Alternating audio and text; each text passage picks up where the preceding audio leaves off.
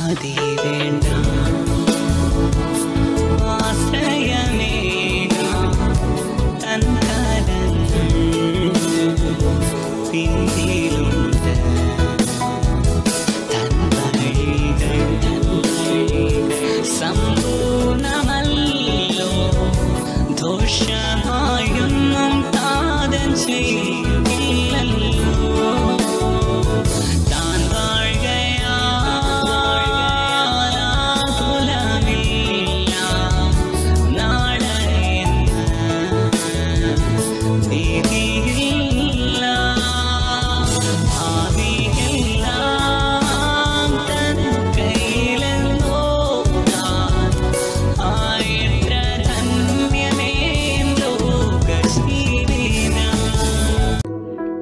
ദൈവത്തിന്റെ അതിപരിശുദ്ധമായ നാമം വാഴ്ത്തപ്പെടുമാറാകട്ടെ എല്ലാവർക്കും.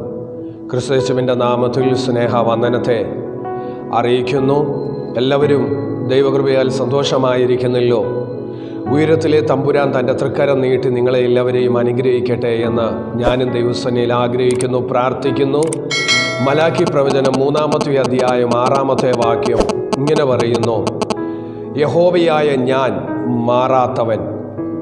ഒരിക്കൽ ഒരു യൂണിവേഴ്സിറ്റിയിൽ അനേക ക്ലാസ് മുറികളിൽ ഒരു പ്രധാനപ്പെട്ട ക്ലാസ് നടന്നുകൊണ്ടിരിക്കുന്ന ഒരു കൂട്ടം കുട്ടികൾ പഠനത്തിനു വേണ്ടിയിരിക്കുന്ന ക്ലാസ് റൂമിലേക്ക് അവരുടെ പ്രൊഫസർ കടന്നു വന്നു. തന്റെ പുസ്തകങ്ങളുമായി ആ റൂമിലേക്ക് കടന്നു വന്ന സമയത്ത് എല്ലാവരും വളരെ ബഹുമാനത്തോടെ പ്രൊഫസറെ അന്നത്തെ ക്ലാസ്സിലേക്ക് സ്വീകരിച്ചു. എല്ലാവരും അവരവരുടെ ഇരിപ്പിടങ്ങളിൽ ഇരുന്നതിനു ശേഷം പ്രൊഫസർ എല്ലാവരോടും പറഞ്ഞു എല്ലാവരും പരീക്ഷ എഴുതുവാൻ തയ്യാറാകുവാനുള്ള ആഹ്വാനം കൊടുത്തു. ഒരു നിമിഷം ഇത് കേട്ട കുട്ടികളെല്ലാവരും അമ്പരന്നു പോയി.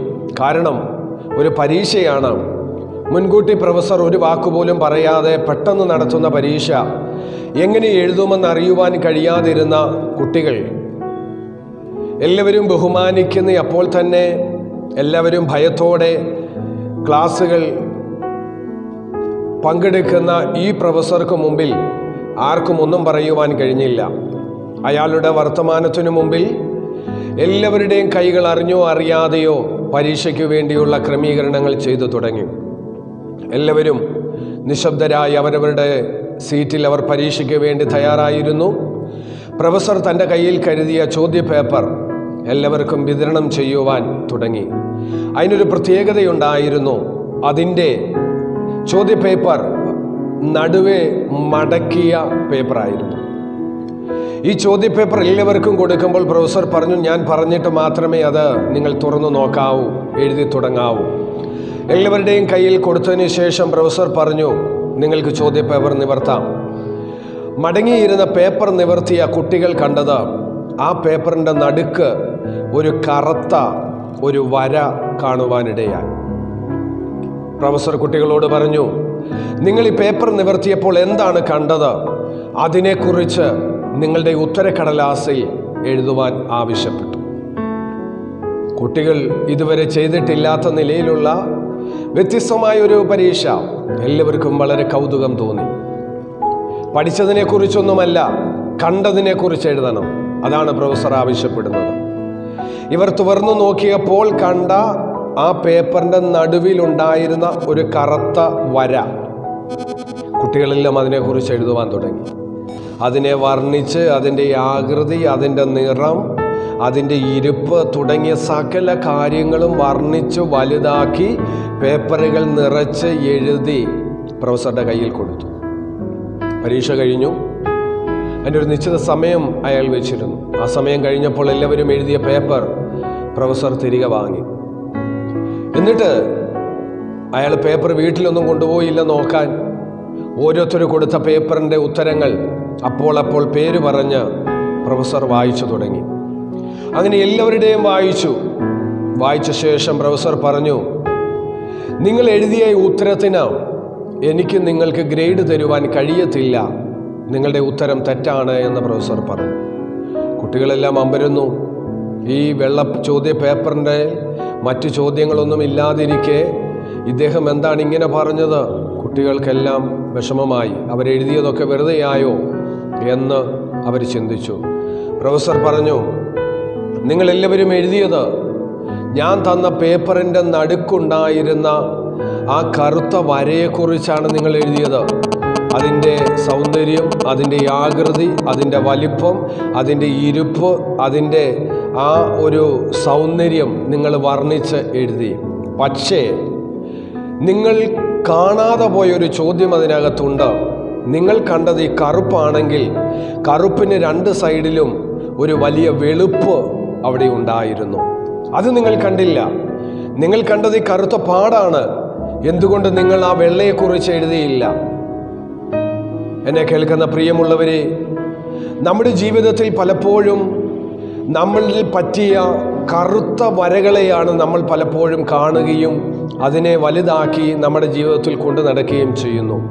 എന്നാൽ അതിനപ്പുറത്ത് നമ്മിലുള്ള നന്മകളെ പലപ്പോഴും നമുക്ക് കാണുവാൻ കഴിയാതെ നമ്മുടെ ജീവിതത്തിൽ പറ്റിയ ചെറിയ പാളിച്ചകളെ നമ്മൾ വലുതാക്കി എഴുതി തന്നിമിത്തമായി അതിനെ പൊലിപ്പിച്ച് അനേകരുടെ കുടുംബജീവിതം തകരുന്നു. അനേക തലമുറകൾ തകരുന്നു.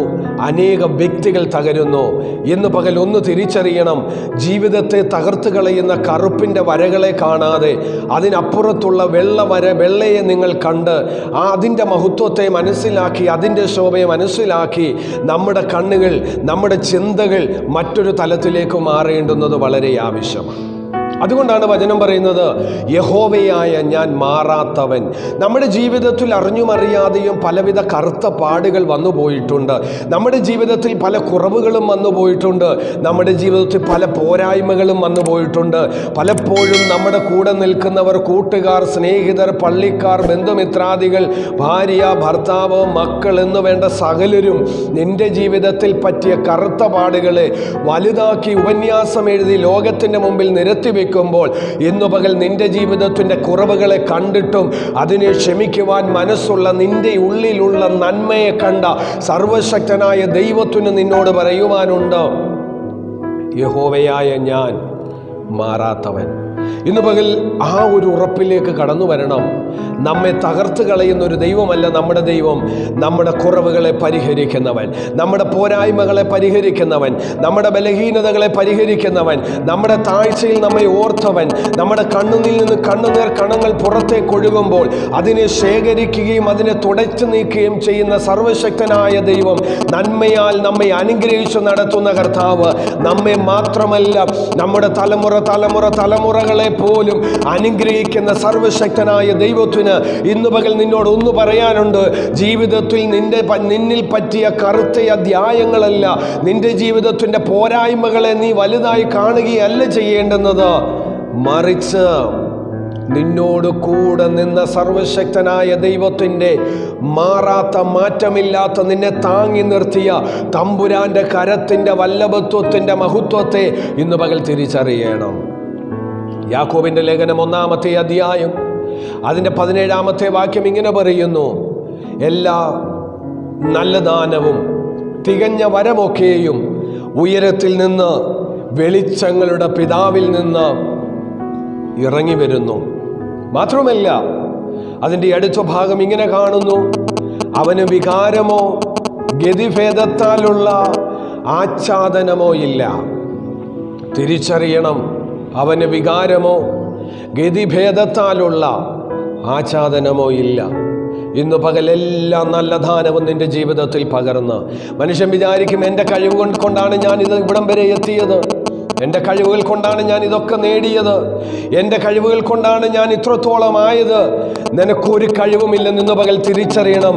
ശ്വാസം തിരിച്ചെടുക്കുവാൻ കഴിയുന്നില്ലെങ്കിൽ നീയും ആറടി മണ്ണിന് ഉടമയാണ്. നേടിയ പണവും നേടിയ സമ്പാദ്യവും നിന്റെ ജീവിതത്തിൽ നിന്റെ കാർ പോർച്ചിനകത്ത് കിടക്കുന്ന കാറും ബംഗ്ലാവും എല്ലാം മറ്റാർക്കോ അനുഭവിക്കുവാൻ വേണ്ടി ഈ ലോകത്തിൽ ഇട്ടേച്ചു പോകുന്ന ഒരു ജീവിതമാണ് ഇന്ന് പകൽ ജീവിതത്തിൽ തന്ന എല്ലാ നന്മകളെയും ഓർത്ത് ദൈവത്തിനൊന്ന് സ്തോത്രം പറയുവാൻ ദൈവത്തിനൊന്ന് നന്ദി പറയുവാൻ. എബ്രായർക്ക് എഴുതിയ ലേഖനം പതിമൂന്നാമത്തെ അധ്യായം എട്ടാം വാക്യം പറയുന്നു യേശു ക്രിസ്തു ഇന്നലെയും ഇന്നും എന്നേക്കും അനന്യൻ തന്നെ. നിന്റെ ജീവിതത്തിൽ നന്മകൾ വരുമ്പോൾ ഒത്തിരി കൂട്ടുകാരുണ്ടാകും. ജീവിതത്തിൽ വേദനകൾ വരുമ്പോൾ നിന്നെ കാണുവാൻ ആരുമില്ലായിരിക്കും. എന്നാൽ നന്മയിലും തിന്മയിലും സന്തോഷത്തിലും സന്താപത്തിലും സങ്കടത്തിലും ആരോഗ്യത്തിലും അനാരോഗ്യത്തിലും എല്ലാം നിന്നോട് കൂടെയിരിക്കുന്ന ഒരു നല്ല കർത്താവ്. അനന്യനായി നിന്റെ കൂടെ നിൽക്കുന്ന സർവശക്തനായ ദൈവം ഇന്ന് പകൽ ഇന്നലകളിൽ അവൻ നടത്തിയെങ്കിൽ ഇന്നും നടത്തും. എന്നേക്കും നടത്തുവാൻ അവൻ മതിയായവനാ. ആ തമ്പുരാന്റെ കരത്തിലേക്ക് നമ്മുടെ ജീവിതത്തെ സമർപ്പിക്കുവാൻ ഇന്ന് പകൽ കഴിയേണ്ടുന്നത് നമ്മുടെ ജീവിതത്തിൽ വളരെ ആവശ്യം. യേശുയാ പ്രവചന നാൽപ്പത്തി അഞ്ചാം അധ്യായം അതിന്റെ അഞ്ചാം വാക്യങ്ങളിൽ ഇങ്ങനെ വായിക്കുന്നു. ഞാൻ യഹോവയാകുന്നു. മറ്റൊരുത്തനുമില്ല. ഞാനല്ലാതെ ഒരു ദൈവവുമില്ല. നീ എന്നെ അറിയാതിരിക്കെ. ഞാൻ നിന്റെ അര മുറുക്കിയിരിക്കുന്നു. നീ എന്നെ അറിയാതിരിക്കെ. ജീവിതത്തിൽ നീ പ്രാർത്ഥിക്കേണ്ട മണ്ണം പ്രാർത്ഥിക്കാതിരുന്നപ്പോൾ ദൈവവുമായി ബന്ധം സ്ഥാപിക്കേണ്ട മണ്ണം സ്ഥാപിക്കുവാൻ കഴിയാതെ മറ്റു പലതിന്റെയും പിറകെ പോയപ്പോൾ നിന്റെ പിറകെ വന്ന് നിനക്കര കെട്ടി മുറുക്കി തന്ന ഒരു നല്ല കർത്താവ്. ഇന്ന് പകലാ ദൈവത്തിന്റെ സ്നേഹം എത്ര വലുതാ. യഹോബ എത്ര നല്ല ഇടയനാ. അവൻ എത്ര മതിയായ കർത്താവാ. ഇന്ന് പകൽ തിരിച്ചറിയുക യഹോവയായ ഞാൻ മാറാത്തവൻ. നിന്റെ ജീവിതത്തിൽ എത്ര വലിയ പ്രതിസന്ധികളും പ്രശ്നങ്ങളും ഭാരങ്ങളും കടന്നു വന്നാലും നിന്നെ വിളിച്ച ദൈവം വിശ്വസ്തനാണ്. അവൻ അന്ത്യത്തോളം നടത്തുവാൻ മതിയായ ദൈവമാ. ആരെല്ലാം തള്ളിയാലും നിന്നെ ചേർത്ത് നിർത്തുവാൻ മനസ്സുള്ള കർത്താവിന്. ഇന്ന് പകൽ ഭാരത്തോടെ പ്രയാസത്തോടെ വേദനയോടെ മറ്റേതെങ്കിലും വിധ പ്രതിസന്ധികളിലായിരിക്കുന്ന എന്നെ കേൾക്കുന്ന ആരെങ്കിലും ഉണ്ടെങ്കിൽ ഇന്ന് പകൽ തിരിച്ചറിയുക യഹോവയായ ഞാൻ മാറാത്തവൻ. ഇന്ന് പകൽ നിങ്ങളുടെ ജീവിതത്തിന്റെ പ്രയാസങ്ങൾക്ക് മുമ്പിൽ നിങ്ങൾ പല ആവർത്തി പറയുക യഹോവയായ എന്റെ ദൈവം മാറാത്തവൻ ഇന്ന് പകൽ പ്രാപി വിശ്വസിക്കുക ഇന്ന് പകൽ ഏറ്റുപറയുക ആ ദൈവിക വിടുതൽ പ്രാപിക്കുക ദൈവം അനുഗ്രഹിക്കട്ടെ.